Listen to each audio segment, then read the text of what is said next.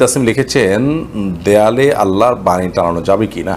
অনেক ওলামা এটাকে নিষেধ করেন বিশেষ করে আল্লাহর বাণীকে আহ, শোভাবর্ধনের কাজে ব্যবহার করা হচ্ছে অর্থাৎ যে উদ্দেশ্যে এটি আসেনি সেই হীন উদ্দেশ্যে ব্যবহার করা হচ্ছে সেই জায়গা থেকে অনেক ওলামা একরাম নিষেধ করেন। কিন্তু আমি ব্যক্তিগতভাবে মনে করি যে এটাকে যদি কেউ দেয়ালে টাঙিয়ে রাখেন যেটা দেখলে আমার স্মরণ হবে তেলাওয়াত করব তাহলে সেক্ষেত্রে এটি নিষিদ্ধ হবে না।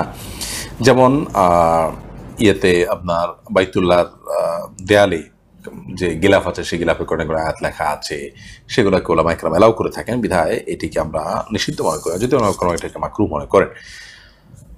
এরপরে, অচেনা মায়াবতী আড়িদিকে আপনি লিখেছেন, আমি মাঝে মাঝে বিয়েতে বউকে সাজিয়ে দেই, কিন্তু যাদেরকে সাজাই তারা তো পর্দা করে না। অনেক লোক তাদেরকে দেখে, আমি সাজিয়ে দেওয়ার কারণে কি গুণা হবে?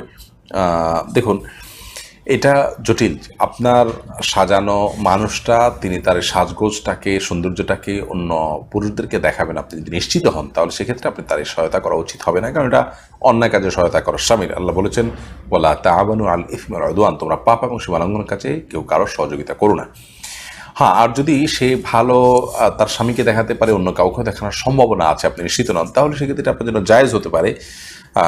কিন্তু আপনি যখন নিশ্চিত হবেন বা প্রবল সম্ভাবনা থাকবে যে সে এটা অন্য সবার সামনে প্রদর্শন করবে এবং অন্যরা তার এই সৌন্দর্য দেখে মনের জেনা লিপ্ত হবে, তাহলে সেক্ষেত্রে আপনি এই কাজটা করা উচিত হবে না, কারণ সেক্ষেত্রে অন্যায় সহায়তা করা হলো।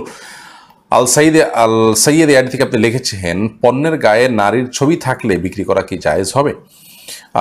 বেপর্দা নারীর যদি ছবি থাকে, তাহলে সেক্ষেত্রে সেটার বিক্রি বা বিপণন করার মাধ্যমে একটা অশ্লীলতা বা অন্যায় কাজের বিস্তার হচ্ছে। জাস্ট এই অন্যায়ের কারণে সেটাকে অ্যাভয়েড করতে পারলে সেটা ভালো।